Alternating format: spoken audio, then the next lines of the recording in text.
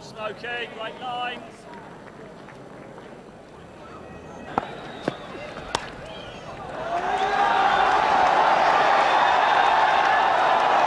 Desperate effort there by Matthew Fleming, but it's in vain in the end. It goes for four.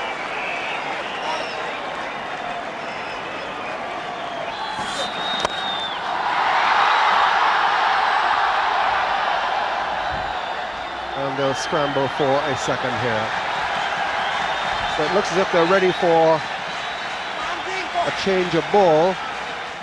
But one wonders now whether the Indians would want the ball changed.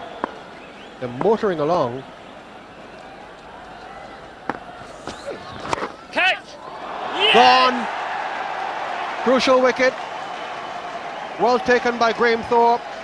Matthew Fleming picks up the crucial wicket just at a time when India, through Tendulkar and Jadeja, looked as if they were pulling up towards the required run rate.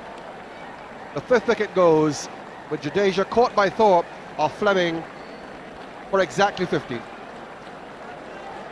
This could be a vital blow here. Struck by England. Graham Thorpe won't drop those. Pretty good slip fielder, pretty good catcher anywhere in the field. It's 182 for 5.